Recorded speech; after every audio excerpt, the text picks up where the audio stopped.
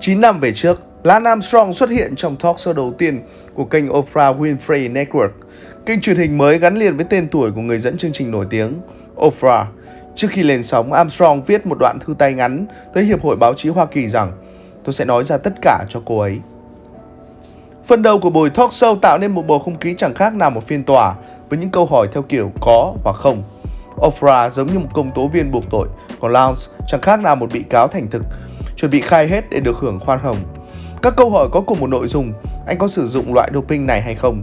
Armstrong không ngại ngần trả lời có với tất cả những cáo buộc.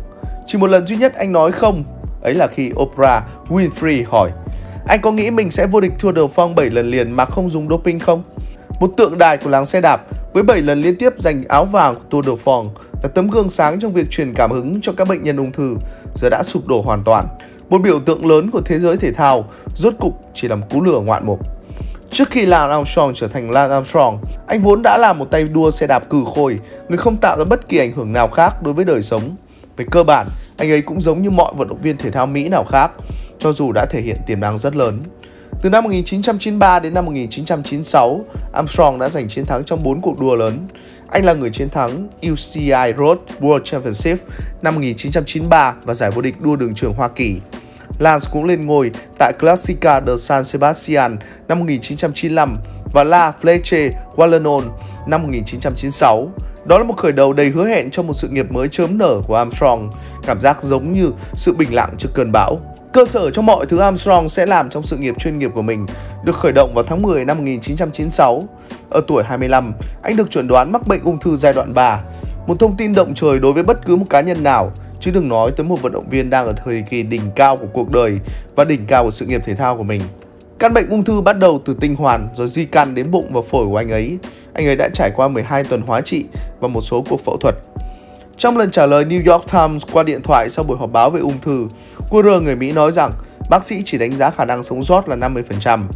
Tuy nhiên anh không chỉ hướng tới việc chiến thắng căn bệnh mà còn giữ nguyên hy vọng về một ngày nào đó sẽ tiếp tục sự nghiệp của mình. Tôi chắc chắn sẽ đánh bại căn bệnh này. Không thể nói trước khi nào tôi sẽ trở lại đua xe đạp, nhưng tôi hy vọng sẽ trở lại với các giải đấu chuyên nghiệp vào mùa giải 1997. Đây là một trở ngại mà tôi sẽ phải vượt qua Tôi đã nói tất cả rằng mình sẽ không sống lâu như hầu hết mọi người. Môn thể thao này quá khó. Tour de France không phải một sự kiện dành cho những người bình thường. Vào thời điểm được chuẩn đoán, Armstrong đang có một mùa giải rất thành công trên đường đua xe đạp. Anh là vận động viên đua xe đạp xếp hạng thứ 8 trên thế giới và đã vô địch hai chặng Tour de France vào năm 1995. Sau khi được tuyên bố khỏi bệnh ung thư, Armstrong bắt đầu hành trình trở lại của mình trên chiếc xe đạp và sẽ xây dựng một trong những thương hiệu thành công nhất trong lịch sử thể thao. Sự kiện đầu tiên của Armstrong khi trở lại là La Vuelta năm 1998. Coureur người Mỹ về thứ tư trong sự kiện đó cho thấy rõ ràng anh không chỉ chiến thắng căn bệnh ung thư mà còn đưa bản thân trở lại trạng thái thể chất đỉnh cao để cạnh tranh với những đối thủ mạnh nhất trên thế giới. Mọi câu chuyện trở lại đều cần một sự khởi đầu. Mặc dù giải đấu này không kết thúc trong thắng lợi ngay lập tức cho Armstrong, nhưng anh đang trên đà hướng tới sự thống trị mà rất ít vận động viên trong bất kỳ một môn thể thao nào khác có thể làm được. Mùa giải năm 1998 là năm khởi động cho những nấc thang mới của Armstrong. Anh vốn đã là một tay đua xe đạp cử khôi cho đến thời điểm này, nhưng giờ đã chuẩn bị sẵn sàng để bước vào vị thế của một ngôi sao. Tên tuổi của anh chính thức được biết đến kể từ Tour de France năm 1998. Anh trở thành người Mỹ đầu tiên giành áo vàng chung cuộc kể từ Greg LeMond, thần tượng một thời của Armstrong với 3 lần đăng quang tại Paris. Lập tức câu chuyện của Lance Armstrong trở nên sốt dẻo anh trở thành một người hùng phi thường, vượt qua ung thư để trở thành một nhà vô địch, giống như thần tượng Le Monde của anh vô địch Tour de France với hơn 70 mảnh đạn trong cơ thể. Những thành công ở Pháp sẽ không dừng lại ở đó.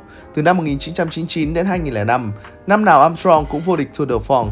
Chuỗi 7 năm chiến thắng liên tiếp đã xô đổ kỷ lục 5 danh hiệu liên tục mà Miguel Indurain của Tây Ban Nha giành được từ năm 1991 đến 1995. Chiến tích giải đua xe vòng quanh nước Pháp biến anh trở thành một tượng đài bất hủ của xe đạp nói riêng và thể thao thế giới nói chung. Trong thời gian thống trị Tour de France và đua xe đạp thế giới, anh dần dần trở thành thương hiệu thể thao lớn nhất bên cạnh Air Jordan. Armstrong góp mặt trong mọi lĩnh vực trên khắp các mặt báo. Hai năm trước khi vô địch Tour de France, anh đã thành lập quỹ Lightstrong hỗ trợ và truyền cảm hứng cho rất nhiều bệnh nhân ung thư. Vòng tay màu vàng của Lightstrong trở thành một trong những món đồ cần phải có, ngay cả khi bạn không bị ung thư, ngay cả khi bạn không quan tâm đến thể thao cũng như những chiến tích của Armstrong, bạn cũng biết chiếc vòng tay cao su màu vàng có ý nghĩa như thế nào. Năm 2002, sau khi giành chức vô địch Tour de France lần thứ tư, Lance Armstrong được vinh danh là vận động viên thể thao của năm trên trang bìa của tạp chí Sport Illustrated. Anh đã trở thành vận động viên đua xe đạp đầu tiên và duy nhất cho đến nay có được vinh dự này. Nhưng Armstrong không chỉ được biết đến nhờ Livestrong. Anh là một người nổi tiếng chính thống, được đối xử như một ngôi sao điện ảnh Hollywood. Anh xuất hiện trong bộ phim Doggerbo năm 2003. Trong đó anh đưa ra lời khuyên cho nhân vật của Vince Vaughn về việc không bỏ cuộc. Armstrong đã hẹn hò với Sheryl Crow trong một thời gian vào giữa những năm 2000. Không có nơi nào bạn có thể đến mà không nhìn thấy hoặc nghe thấy điều gì về sự nghiệp của anh hoặc thương hiệu Livestrong. Nhưng có một điều chắc chắn, ấy là những cáo buộc về chất kích thích đã luôn đeo bám suốt sự nghiệp của Lance Armstrong. Năm 1999, anh bị phát hiện dương tính với chất cấm, nhưng sau đó được bỏ qua với lý do đang sử dụng kem bôi chăm sóc da. Sau đó chính Greg Lemon, thân tượng của Armstrong, tình cờ thu thập được rất nhiều bằng chứng về việc cua rơ đàn em sử dụng chất kích thích. Tuy nhiên, ở thời kỳ đỉnh cao của mình, Armstrong không chỉ là một vận động viên mà còn là người truyền cảm hứng cho rất nhiều bệnh nhân ung thư và còn là con gà đẻ trứng vàng cho các nhãn hàng. Bằng thế lực của mình, Lance đã lợi dụng các thương nhân có tiếng trong làng đua xe đạp cũng như báo chí để áp đảo lại Le Monde, thậm chí còn khiến doanh số bán xe của thương hiệu huyền thoại này chìm nghỉm. Nhưng cây kim trong bọc rồi cũng có ngày lộ ra. Vào năm 2005, chỉ vài tuần sau khi Armstrong tuyên bố sẽ giải nghệ sau khi giành chức vô địch Tour de France lần thứ 7, một tờ báo Pháp đã đưa tin rằng một cuộc điều tra đã tìm thấy 6 mẫu nước tiểu của Armstrong cho kết quả dương tính với chất kích thích. Sau đó, Cooper người Mỹ đã tham gia Relay Larry King Show để thảo luận về các cáo buộc và nói với thế giới rằng chúng không đúng sự thật. Chúng thực sự bốc mùi. Tôi đã nói điều đó hơn 7 năm rồi. Tôi chưa bao giờ phải dùng tới doping. Tôi có thể nói lại lần nữa, nhưng tôi đã nói điều đó trong 7 năm rồi, chẳng ích gì cả. Họ vẫn luôn nghi ngờ tôi.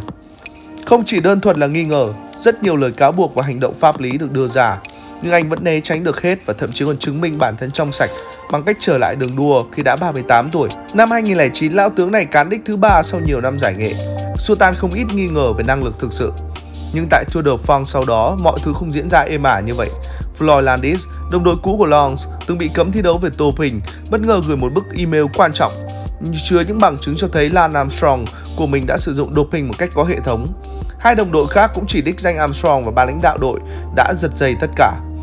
Tất cả lên đến đỉnh điểm vào tháng 10 năm 2012 khi cơ quan chống doping Hoa Kỳ đi tới kết luận rằng Lance Armstrong đã sử dụng doping trong suốt sự nghiệp.